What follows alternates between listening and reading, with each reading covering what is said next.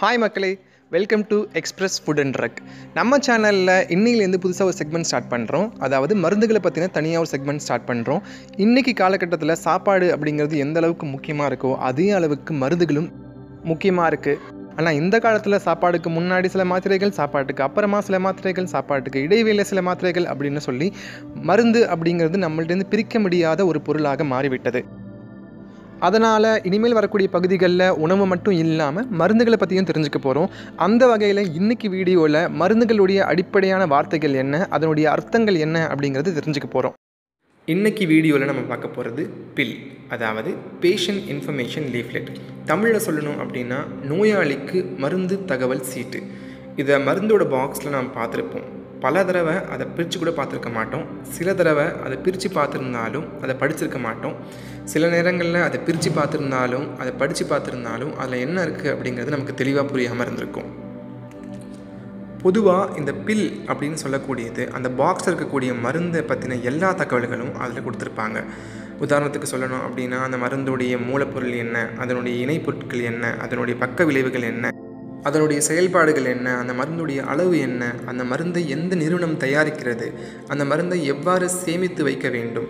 அப்படின்னு சொல்லி அந்த மருந்தை பற்றின எல்லா இன்ஃபர்மேஷனும் அக்கு வேற ஆணி வேற அதில் கொடுத்துருப்பாங்க. என்னதான் நமக்கு இங்கிலீஷ் படிக்க தெரிஞ்சிருந்தாலும் இதில் இருக்கக்கூடிய சில மருத்துவம் சார்ந்த வார்த்தைகளுக்கு அர்த்தம் தெரிஞ்சுக்கிறது அதை இன்னும் ஆழமாக புரிஞ்சுக்கிறதுக்கு உதவும். இந்த வீடியோவில் மருந்துகளுடைய சில அடிப்படையான வார்த்தைகள் என்ன? அதனுடைய அர்த்தங்கள் என்ன? அப்படிங்கிறத பார்க்கலாம். இதில் முதலாவதாக நம்ம பார்க்கக்கூடிய வார்த்தை ஜென்ரிக் நேம் பிராண்ட் நேம் என்கிட்டையும் நிறைய பேர் கேட்குற கேள்வி இது ரெண்டுக்கும் உள்ள வித்தியாசம் என்ன அப்படிங்கிறது தான். ரொம்ப எளிமையாக சொல்லணும் அப்படின்னா ஜென்ரிக் நேம் அப்படிங்கிறது அந்த மருந்துடைய மூலப்பொருளின் பெயர். பிராண்ட் நேம் அப்படிங்கிறது அந்த மருந்தை சந்தைப்படுத்துவதற்காக மருந்து நிறுவனத்தால் வைக்கப்படும் ஒரு பெயர்.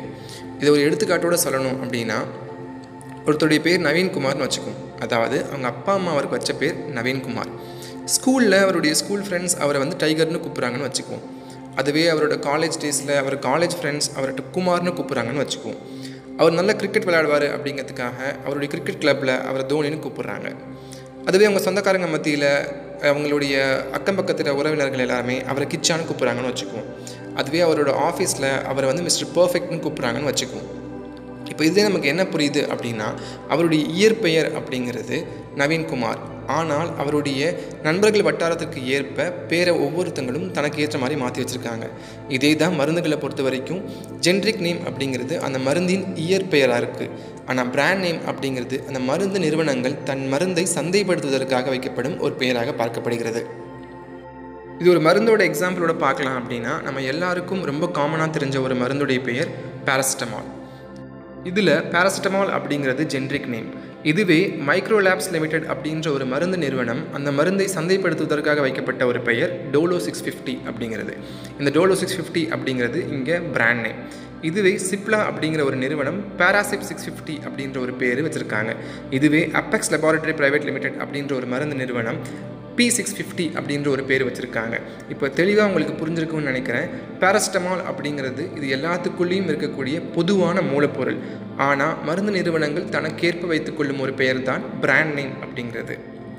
முக்கியமான விஷயம் என்ன அப்படின்னா இந்த பிராண்ட் நேம் அப்படிங்கிறது நாடுக்கு நாடு மாறுபடும். ஒரு மாநிலத்துக்கும் இன்னொரு மாநிலத்திற்கும் மாறுபடும். ஒரு மருத்துவமனைக்கும் இன்னொரு மருத்துவமனைக்கும் மாறுபடும். அவ்வளவு ஏன்? ஒரு மருத்துவருக்கும் இன்னொரு மருத்துவருக்கும் மாறுபடும். ஆனால் இந்த ஜென்ரிக் நேம் அப்படிங்கிறது உலகத்தில் நீங்கள் எங்கே போனீங்கன்னாலும் ஜென்ரிக் நேம் அப்படிங்கிறது பொதுவான ஒன்று.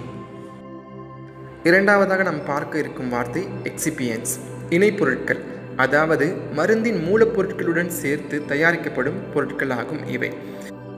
ரொம்ப எளிமையாக புரிகிற மாதிரி ஒரு எக்ஸாம்பிளோட இது சொல்லணும் அப்படின்னா இப்போ நம்ம சப்பாத்தி மாவு பேசுகிறேன்னு வச்சுக்கோங்களேன். சப்பாத்தி மாவில் இருக்கக்கூடிய மூலப்பொருள் அப்படிங்கிறது கோதுமை. ஆனால் அதுக்கு வடிவம் கொடுப்பதற்காக நம்ம அதில் தண்ணீரை சேர்க்குறோம். அதே மாதிரி சுவை கொடுப்பதற்காக உப்பு சேர்க்குறோம். அதே மாதிரி மாவு மிருதுவாக இருக்கணும் அப்படிங்கிறதுக்காக பேக்கிங் சோடாவை சேர்க்குறோம். இதே மாதிரி தான் மருந்துடைய இணைப்பொருட்கள் அப்படிங்கிறது அந்த மருந்துக்கு வடிவம் கொடுப்பதற்காகவும் அதனுடைய கசப்புத்தன்மையை போக்குவதற்காகவும் மருந்துகளுக்கு வண்ணம் கொடுப்பதற்காகவும் மருந்துகள் எளிதில் உடலில் கரையவும் சில இணைப்பொருட்கள் சேர்க்கப்படுகின்றன எக்ஸாம்பிளுக்கு சொல்லணும் அப்படின்னா lactose sucrose glucose liquid paraffin அப்படின்னு சொல்லிக்கிட்டே போகலாம் இவை அனைத்தும் மருந்துகளின் மூலப்பொருட்களுடன் சேர்த்து தயாரிக்கப்படுகிறது. இந்த வீடியோ உங்களுக்கு பிடிச்சிருக்குன்னு நம்புகிறேன் உங்களுக்கு ஏதாவது டவுட் இருந்தது அப்படின்னா கமெண்ட்டில் கேளுங்கள் இதே மாதிரி வீடியோவை நாங்கள் இன்னும் அப்லோட் பண்ணணும்னு நினச்சிங்க அப்படின்னாலும் கமெண்ட்டில் சொல்லுங்கள் தேங்க்யூ ஃபார் வாட்சிங்